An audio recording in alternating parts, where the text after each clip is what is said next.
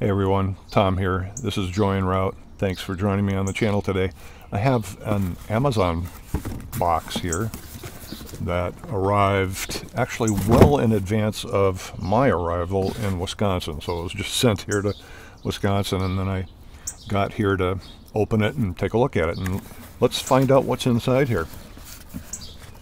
So this is the main event, frankly. This is the, uh, it's a dash cam, cut to the chase here.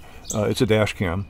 This is a VIOFO A119 Mini 2 with the Sony Starvis 2 sensor. So here we go. We're going to uh, install that in Joy so that Joy will have dash cam capabilities.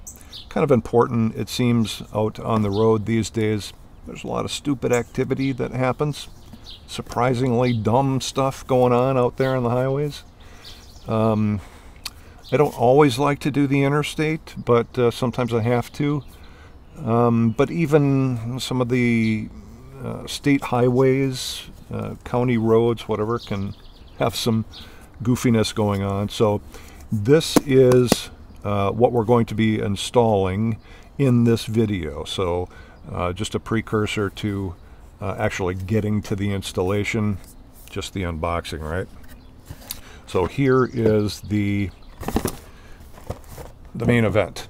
Now, I also picked up a few accessories for the dash cam. The first being a uh, 256 gig micro uh, X, uh, micro uh, SD card and um, yes, it actually is a VIOFO branded um, SD card. And I guess the reason that I did that is because there's some indication that, and this is kind of true of almost anything, is you really need a pretty high quality SD card to do video recording. And I guess, you know, maybe there was some concern that uh, other lesser quality um, SD cards might not work as well with the with the uh, camera so I just decided to play it safe and go with their card. Uh, that way we know that it's been certified for use with the dash cam and I don't have to worry about anything else.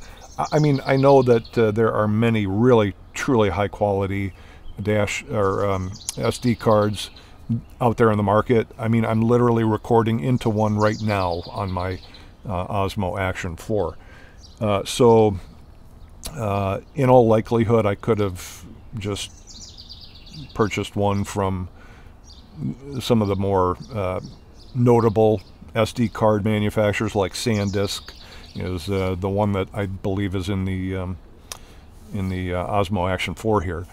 But um, again, just trying to uh, get the certified card for the dash cam so that I'm not experiencing any difficulties with it.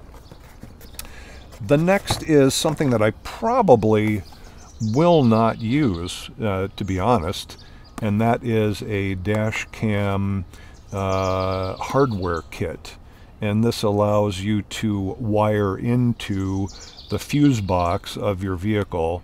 And I've found through enough research that it's unlikely that I'm going to get to Joy's uh, under the dash uh, fuse block easily. And so there is an alternative that I have decided to run with, and that is this one right here uh, which was kind of an expensive little piece of kit, and I, but I guess it's it's made by a company that a lot of people trust, and I'm going to place that trust in Garmin as well. What this is is a constant power cable they call it but really what it is is a way to provide power to accessories like a dash cam through USB-A ports that are at the other end connected to the OBD port on the vehicle. And of course, all vehicles have an OBD port. And uh, the cool thing about this particular connector is that it also permits you to select how long the dash cam or whatever accessory you have plugged into its USB ports remain active after you have shut the vehicle off. So you can go 10 minutes, 24 hours, or you can have it remain on indefinitely. And the reason for that would be, or a, a selectable um, situation like this, would be to be sure that any uh, parking mode recordings can continue uh, rather than having the accessory just cut it off after you know 15 minutes or whatever. I think is the way Ford does it. Uh, your accessory uh, power sources in a uh, Ford just kind of shut off after about 15 minutes after you've um, taken the key out of the ignition, right? Um, hello, bug.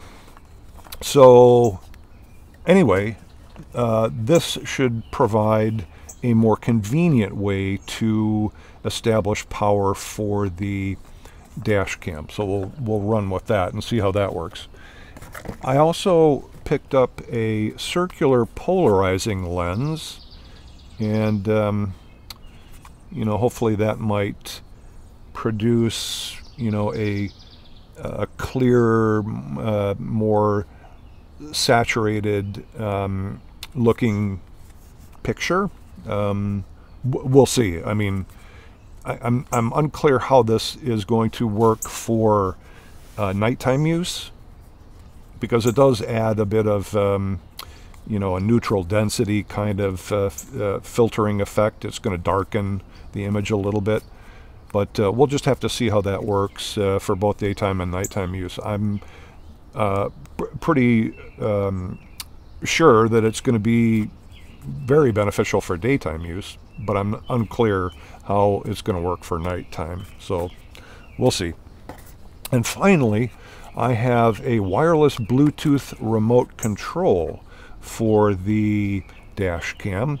And the reason for that would be that um, sometimes you might, if, if an event occurs while you're driving and you need to retain that uh, portion of the video, you would typically have to press a button. Now there is some voice capabilities on this, so I think I could just say, you know, like save video or something like that, and the camera would respond by saving the video. But, um, okay, fine. Noise in the cab might misfire the, you know, or have it not understand that I've just asked it to save a video.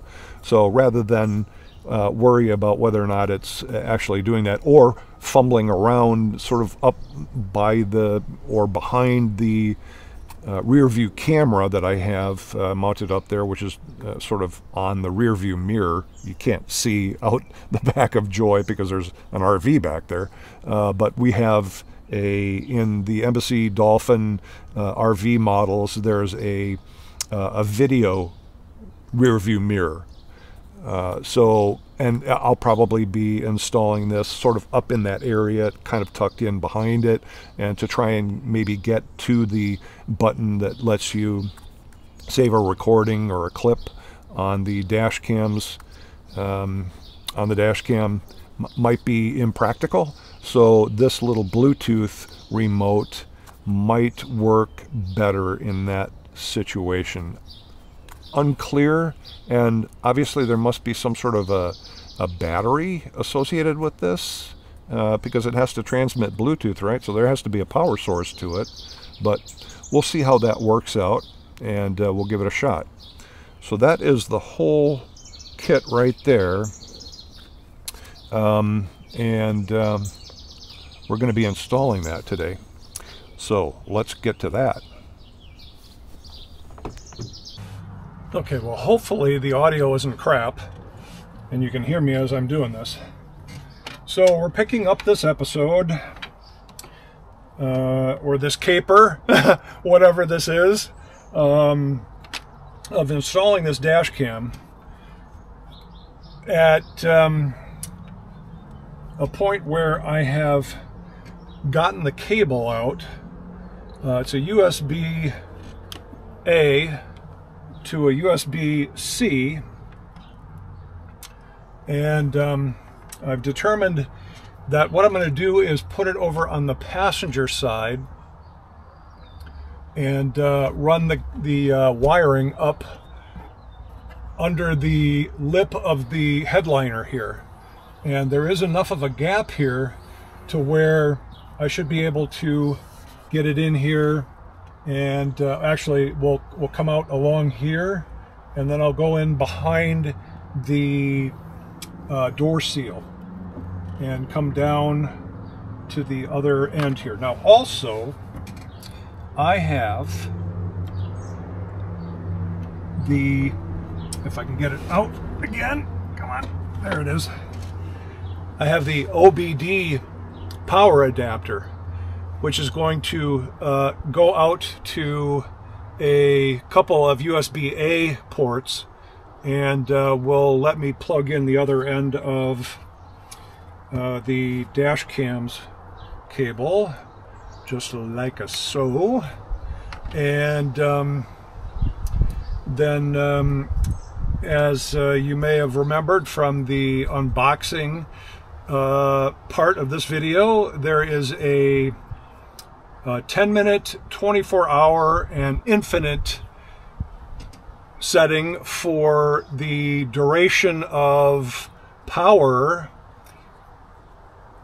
during, you know, after you've shut the vehicle off. So, um, and I've set it to 24 hours, uh, assuming that that will be good for, and I'll have to continue to read the manual and everything else on the thing to uh, see exactly how this works.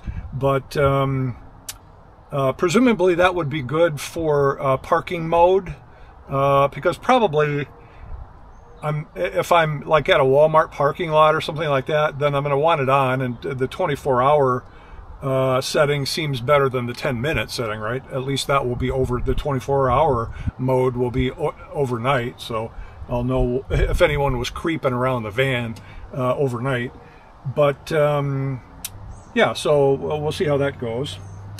And then uh, also on the dash cam itself, I've already powered it up by plugging it in with its cable uh, and it's included um, 12 volt, volt 12 volt power port adapter. We used to call them cigarette lighter uh, sockets.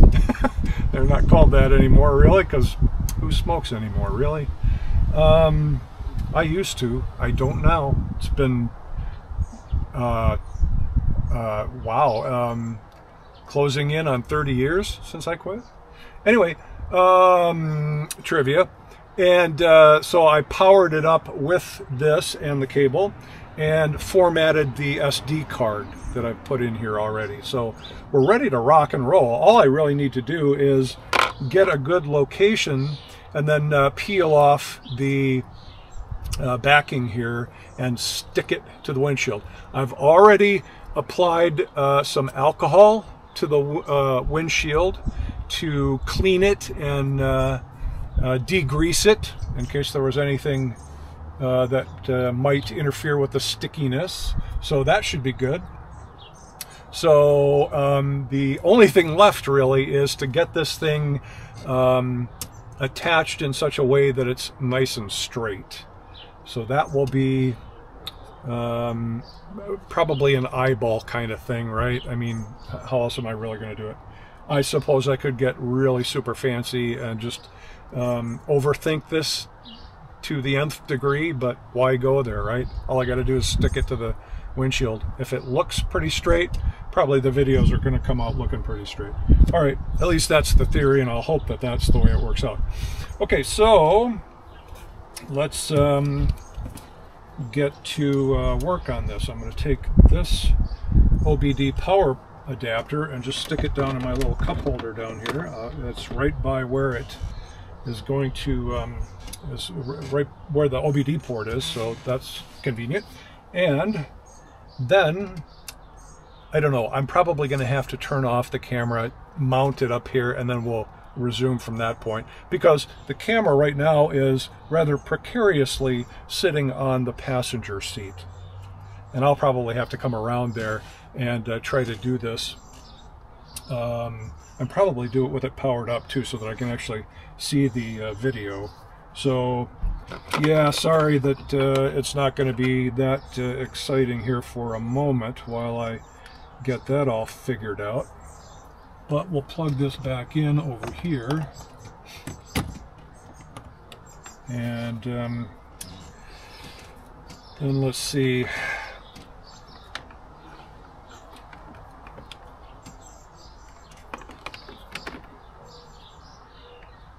Fly, go away.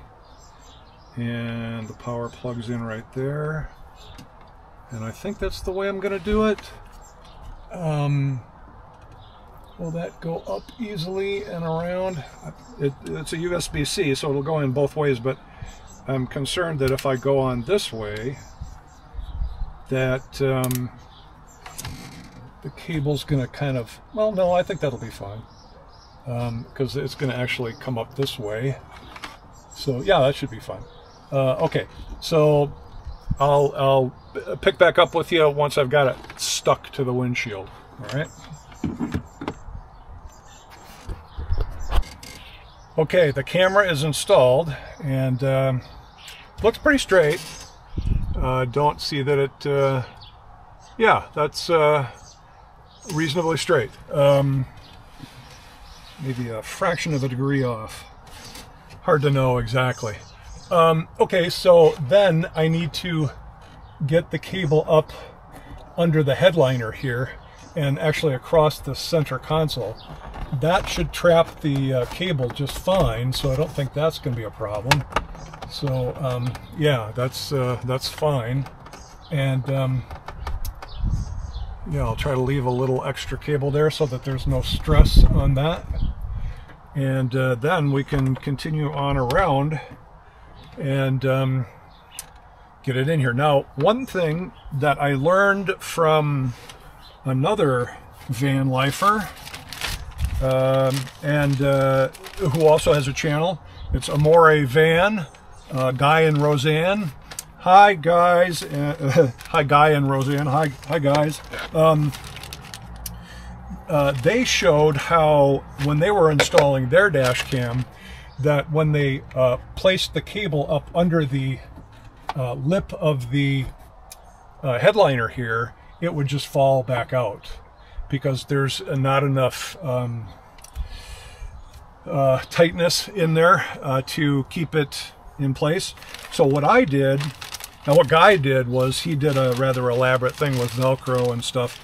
Uh, seemed way too uh, way too fancy for my taste. So what I did instead is I bought some of this uh, backer rod, which is a, a foam um, gap filler. If you're like doing concrete work or something and you got a little crack that you need to fill or something, this provides a good base for the concrete to go over so it doesn't like all just sink into the whatever it is that you're trying to fill.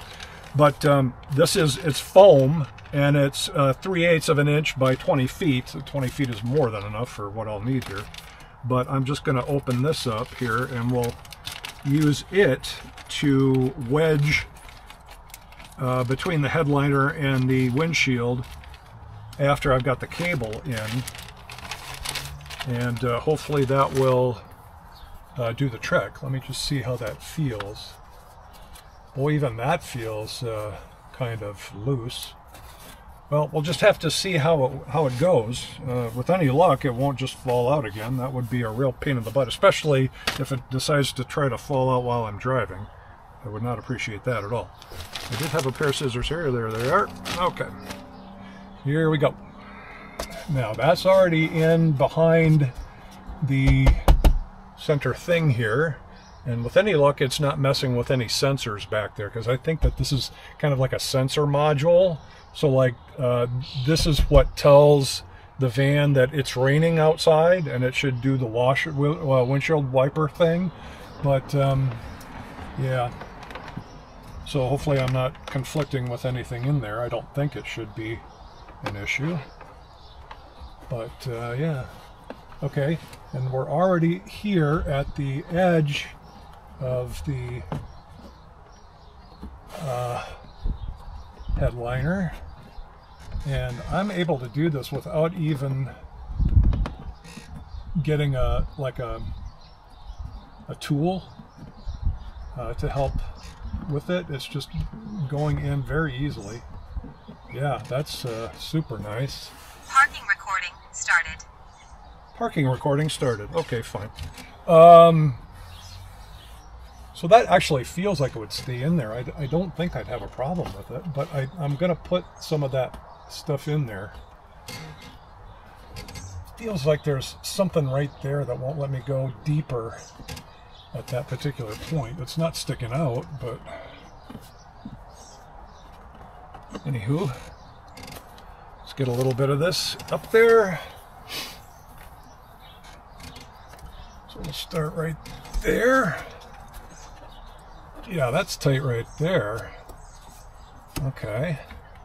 And run it in. Yeah, it's real loose right here, but it's real tight over here. Okay, and then yeah, it gets kind of tight right there. So what I'm going to do is I'm going to clip this off about right here so I can still stuff it up inside there and have it be gone. That's pretty much out of there. Can't really see it anymore.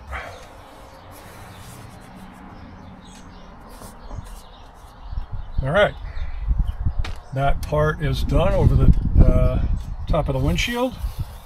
And boy, I got a lot of this left. Anyone need some? Um, and now I am going to unpower the camera. And uh, continue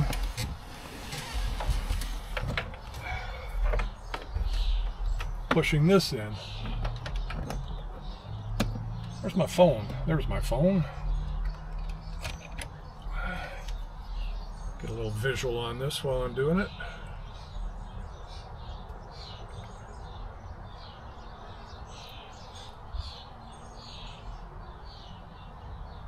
Hmm? Oh, gotta open the shutter thing.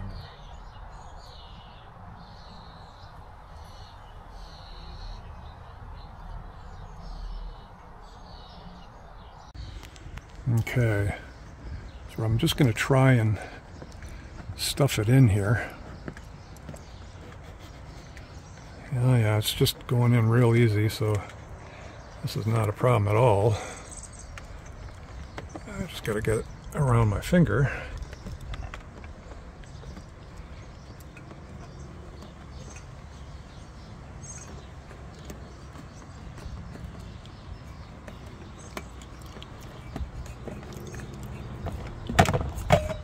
We don't need that water uh, glass there. Try to keep my finger out of the way. And continue to push it in here. And then we're going to get down to this cup holder area where I will have to stop the video because I can't be holding on to stuff while I'm doing that. I need to get around the cup holder here and go back behind here. And then it will come down under, let me back up so you can kind of get a better visual on that. So it'll come down under here and around, and then we'll bring it down here. And this is the OBD port adapter, and there's the OBD port right there. Uh, so all I have to do is just uh, plug this in right here. And the red light comes on to let me know that I've got power there. And then I've got this. The, the only tricky part that I can see to all of this is that the hood release latch is right here. It's that thing right there, as you can see right there. There we go. Yep, I just I just popped the hood. But I need to get like under that and around it or something, so I don't know how that's going to work. Um, I could I've got so much extra cable here, uh, plenty of extra cable here, that I can probably get around there and uh, uh, see what we can do. Um, I don't know. Uh, I'll be back with you in a minute or in a microsecond in your time. Okay, so what I managed to do, and it wasn't hard, uh, well, it was interesting, but wasn't bad, is tuck the cable up underneath here and then run it under run it run it through behind the cup holder and it comes out over here. Uh, yeah. So there we go. And um, my USB um, A uh, plugs are right there. Uh, so all I need to do is just kind of tidy up the cables here, plug them in, and uh, I should be good to go.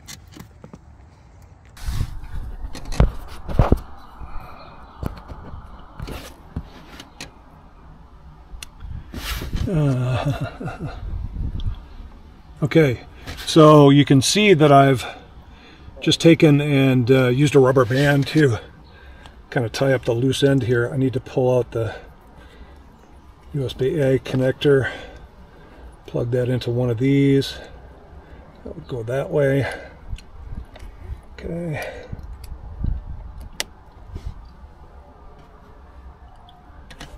And then I just need to see if I can figure out how to put this up here somewhere Recording started. Okay, so we got power. Uh, I got to be careful not to actually conflict with that um, hood release latch. So I'm I'm just sort of feeling my way up here, and it's it's like I'm able to kind of jam it in there. And now when I activate this uh, hood release latch, I'm not feeling anything moving behind it. So I think it's going to be pretty good just right here how I'm how I'm doing it here. Should be just fine. Uh, it, we'll see, you know, as I'm driving down the road whether or not it falls out or something. Uh, but uh, and then we'll know that it didn't quite work. But uh, so far, I mean, it feels like it's just going in there just fine. The cable's tucked up there pretty well, and uh, Looks pretty clean. I think we got her. Done deal. Going to point out one additional thing here. Uh, having mounted it over here on the passenger side, the nice part about that is that the SD card slot, I can't tell if that's in focus or not, uh, is on this side, so I can take it out pretty easily. It's this right here. So that should make uh, getting to the card to uh, offload videos uh, pretty easy. So that's excellent.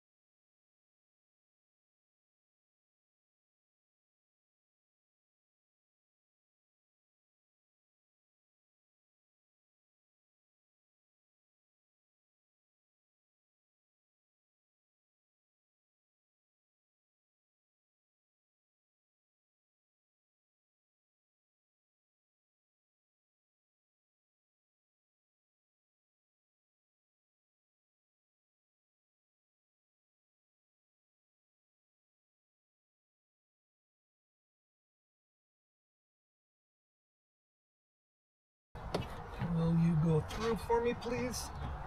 Don't get stuck there. Holy shit, that would be a problem. Oh, yeah. Oh, yeah, yeah, yeah. Ow! yeah, okay.